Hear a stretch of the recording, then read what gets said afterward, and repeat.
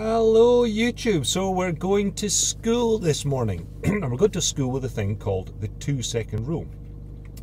Some of you will have heard of the two second rule, some of you maybe heard of it, don't know what it is.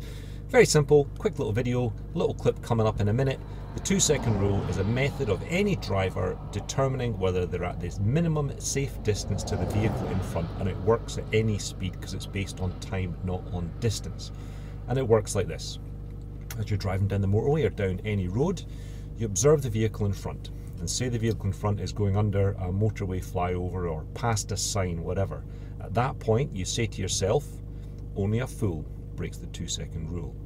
It takes two, three seconds to say it. Now, if you have passed the same point that that vehicle was at when you started talking, you're too close. If there's a bit of time, then you're at the correct distance or you're far enough back that it's safe. Use the two second rule. Yesterday, every time I get close to a city, people are doing 70 miles an hour, they're less than a second apart. Anything happens, you all end up in a big squashed mess. Short video coming up explaining the two second rule.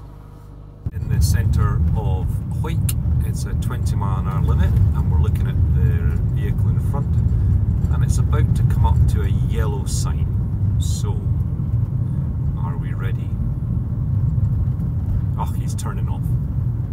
Great little example. Only a fool breaks the two second rule. That was 20 miles an hour.